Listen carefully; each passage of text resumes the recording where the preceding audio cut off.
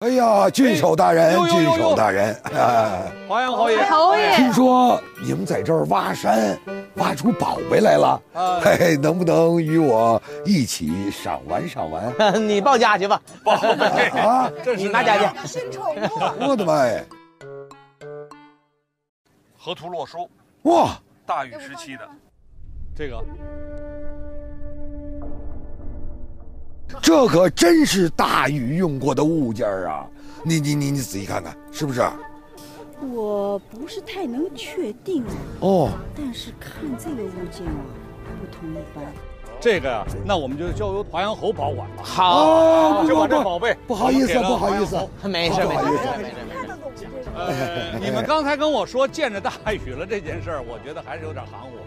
大禹治水有八字真言，谁说了吗？有没有？说了呀，说了，哪八字真言？那不就是那个什么吗？你说分什么了？哎呀，我想想啊，泄洪，疏浚泄洪，因疏浚泄洪，因势利导。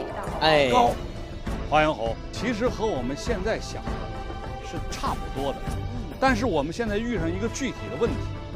虽然我们做了这个鱼嘴，啊，我们起到了泄洪的功能，但是没有起到泄沙的功能。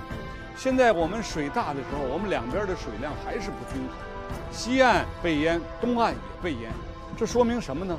说明我们现在这个治水的工程还有待提高。我们这里头啊，有一个懂水的，你往前面站来，